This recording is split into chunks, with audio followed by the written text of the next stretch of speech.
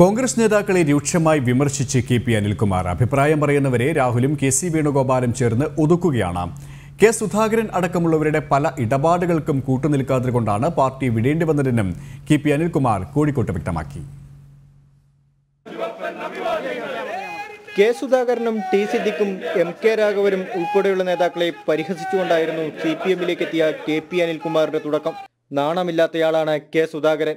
പലയിടത്തും കയറിയിറങ്ങിയ സുധാകരന്റെ കീഴിൽ കോൺഗ്രസ് രക്ഷപ്പെടില്ലെന്നും കെ പി അനിൽകുമാർ വിമർശിച്ചു. ഇന്ദിരാഗാന്ധി മരണമടഞ്ഞപ്പോ ഞാനിന്ന് ഫറൂഖ് കോളേജിൽ പ്രീ ഡിഗ്രിക്ക് പഠിക്കുക. ഫറൂഖ് കോളേജ് മുതൽ കോഴിക്കോട് പട്ടണം വരെ നടന്ന് കണ്ണീരോടുകൂടി നടന്നയാളാ ഞാൻ. ഇന്ദിരാഗാന്ധിയുടെ ചിതാഭസ്മം കേരളത്തിൽ കൊണ്ടുവന്നു. അത് ചിതാഭസ്മത്തിനോടൊപ്പം നിമഞ്ജനം ചെയ്യാൻ കൂടെ പോയ ആളാ ഞാൻ. ആ ചിതാഭസ്മം നിബന്ധനം ചെയ്തപ്പോ ആ പയ്യാമ്പലം ബീച്ച് മലിനമായി എന്ന് പറഞ്ഞ ആളാണ്. കെ സുധാകരൻ.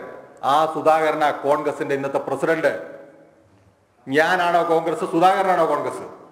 പി ഡി പിക്ക് വേണ്ടി ദഫുമുട്ടാൻ വന്നയാൾ തന്നെ വിമർശിക്കാൻ വളർന്നിട്ടില്ലെന്നും അനിൽകുമാർ കൂട്ടിച്ചേർത്തു. ആ ഉമ്മൻചാണ്ടി എന്ന് പറയുന്ന മനുഷ്യനില്ലായിരുന്നെങ്കിൽ ഈ സിദ്ദിഖ് എന്ന് പറയുന്നുണ്ടോ രാഷ്ട്രീയത്തിൽ എ കെ ആന്റണി തിരൂരങ്ങാടി മത്സരിക്കുമ്പോൾ പി ഡി പിക്ക് വേണ്ടി ദഫുമുട്ടാൻ വന്നവനല്ലേ സിദ്ദിഖ്? ആ ഉമ്മൻചാണ്ടി എന്ന് പറയുന്ന ഒരു മനുഷ്യനല്ലേ ഇവൻ ഈ പറയുന്ന എല്ലാ പോസ്റ്റിലേക്ക് കൊണ്ടുവന്നത്?